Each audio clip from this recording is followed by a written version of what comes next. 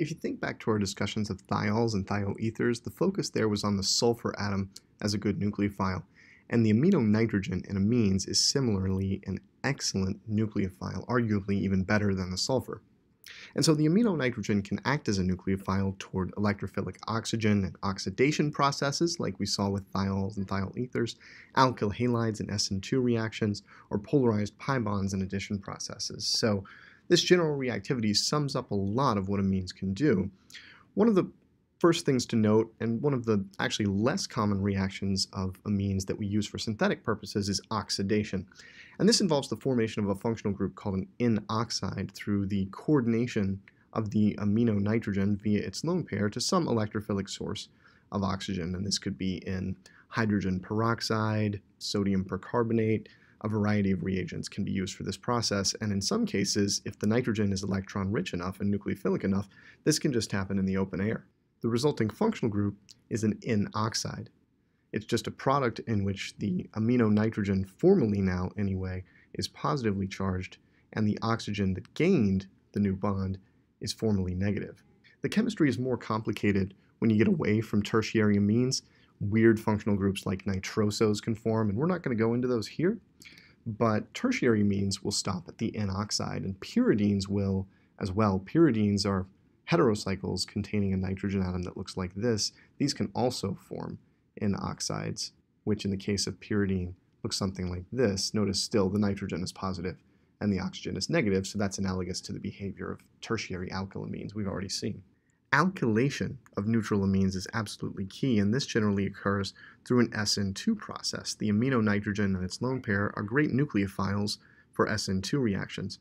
So, for example, in the presence of a nice electrophile like methyl iodide, where the carbon is linked to a good leaving group, we can observe SN2 reactivity. And this is a nice way to make nitrogen-carbon bonds in a number of cases. We'll look at the details in a future video, but the general reactivity will suffice to show here that a great way to make carbon-nitrogen bonds is to use the nitrogen as a nucleophile and the carbon as an electrophile. And if we've already got three alkyl groups linked to the nitrogen, this can result in the formation of what's called a quaternary ammonium salt. So if you think back to that primary, secondary, tertiary nomenclature of neutral amines, if we add a fourth single bond using the lone pair of the nitrogen such that it's positively charged, we end up at a quaternary ammonium cation.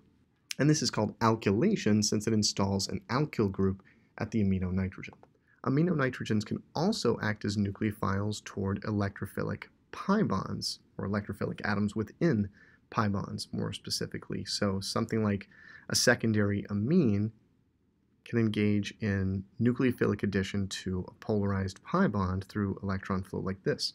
And after proton transfer, we end up with a product in which a new carbon-nitrogen bond has been created, and that was created through donation of the amino lone pair. And we've added a hydrogen to the oxygen and removed hydrogen from the nitrogen through a proton transfer process. So this hydrogen, in a sense, came from the amine as well.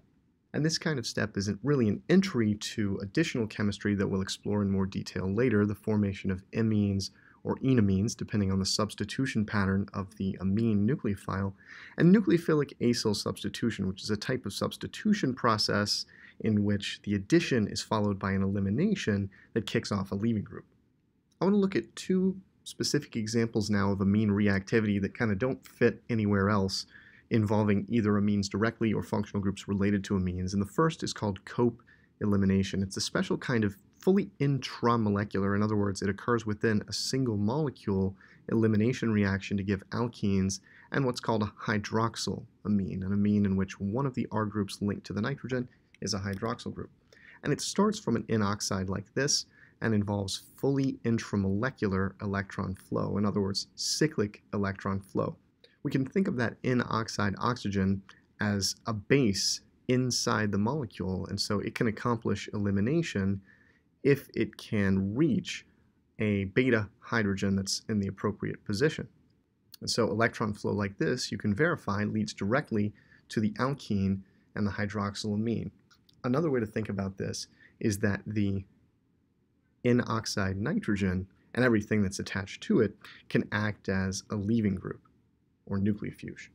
Because the electron flow is completely intramolecular, the reaction is stereospecific. This means that if we start with a particular stereoisomer of starting material, for example, well-defined configurations at these two stereocenters, we will end up at a product in which the alkene has well-defined and predictable stereochemistry, and we can determine the stereochemistry of the product by analyzing the transition state as this electron flow occurs. One thing we can recognize by looking at this reaction scheme, for example, and that should be a B, by the way, not a D, groups that are on the same side of the starting material end up on the same side of the alkene and the product. So B and D end up cis to one another, and A and C also end up cis to one another. And we can explain this observed stereospecificity using the transition state of this step. The transition state involves syn elimination. This means that the acidic hydrogen and the leaving group are on the same side of the plane of the soon-to-be formed alkene. This fixes the orientations of the substituents on the stereogenic carbon atoms, with B and D on the same side of the transition state, and A and C on the same side of the transition state. And as electron flow occurs, the orientations of these substituents linked to the stereogenic carbons don't change. Their relative configurations don't change. B and D remain cis to one another throughout the process, and A and C remain cis to one another throughout the process. Through, through a flattening out of the stereogenic carbon atoms, we get to the observed alkene product in which A and C are cis and B and D are cis to one another. So the cope elimination is useful because it can give us a well-defined alkene, an alkene of well-defined stereochemistry starting from an N-oxide starting material. And notice that two of the alkyl groups linked to the amine tend to get thrown away, and we want these to be things without beta hydrogens to avoid the possibility of elimination in these other alkyl groups. So using a dimethylamine with two methyl groups is very common since these groups cannot undergo cope elimination.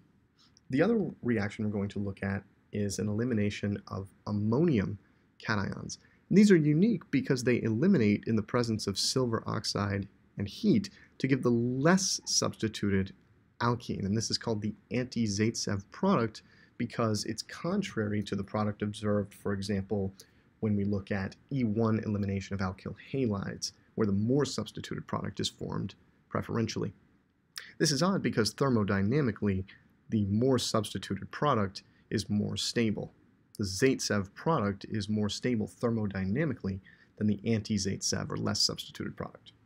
And the idea here isn't terribly complicated, it's just a steric effect where the very large size of the leaving group here, the trimethyl ammonium group, results in preferential deprotonation at the less substituted position rather than the more substituted position.